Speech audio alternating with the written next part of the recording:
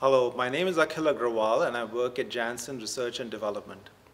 Today I had the opportunity to chair a session at San Diego at the DIA 50th Annual Conference on improving the returns of invested capital in the pharmaceutical and biotech industry. My name is Alan Crowther. I'm the CEO of Alliance Life Sciences. And I, at the session today, I helped answer the question on what market access uh, can do in the development process to help improve the return on investment capital of the pharmaceutical industry. The key takeaway from my session was that in, in integrating market access into the development process can improve the, uh, the time to optimal reimbursement, uh, not just to regulatory approval, which is increasingly key to realizing the full value of a product uh, through its life cycle.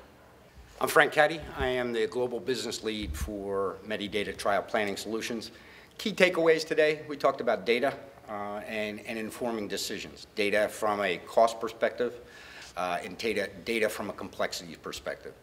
Uh, key end results, our data analysis are, were my conclusions. And my conclusions are you reduce protocol complexity, you will streamline your protocol, reduce cost utilize data that is appropriate relative to fair market value and valid as being representative of what the cost of clinical research is in order to negotiate with investigator sites.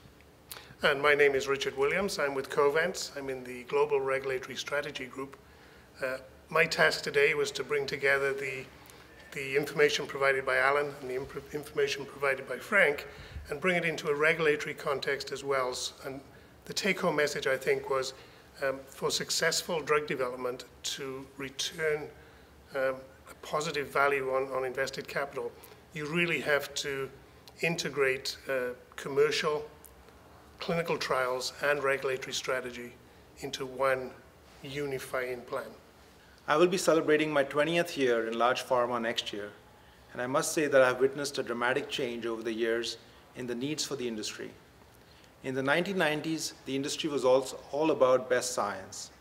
Now it has changed. Clearly, we need very good science, but in addition to good science, we need ways to improve the value of our products, to demonstrate that value to our payers, and also to reduce our cost of our clinical trials.